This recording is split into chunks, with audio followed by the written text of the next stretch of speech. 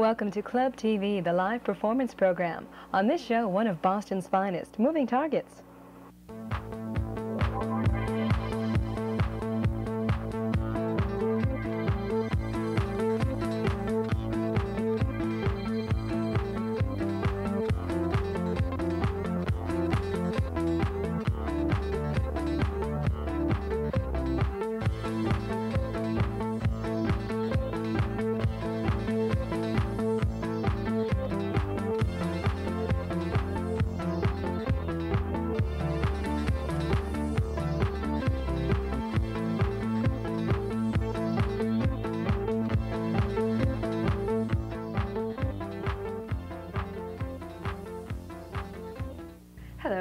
Club TV. I'm Kathy Carter, and with us today, the band Moving Targets. Hello. Hi, Why don't you guys introduce yourselves?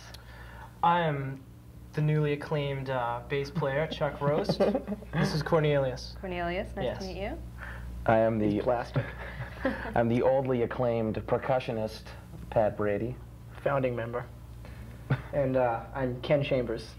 guitar. Yes, I've been with the band for a few years now. Rock myself. star.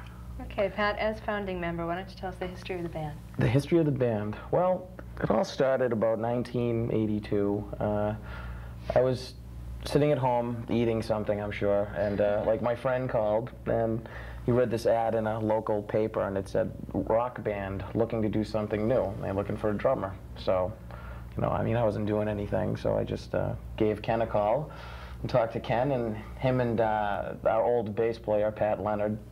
You know, they came up and we just started playing and. Uh, you know, it was uh, worked out pretty well. The rest is everything, history. everything just kind of clicked together. Okay, and where did you come in? I uh, met Ken a couple of, actually it was like the fall of 83. Mm-hmm. And then, Yeah, at that time uh, the Targets were having a bit of a falling out and he wanted to start a new band, so me and him got together and we played in a band for a while called Smash Pattern with a friend of ours, Scott, Owie. who played bass. I played drums and Mhm. Kaiser played guitar. And then uh, it's kind of complicated, Yeah. but that's how It is. It's and really- here's what you see before. And, and Cornelius, when did Cornelius join up?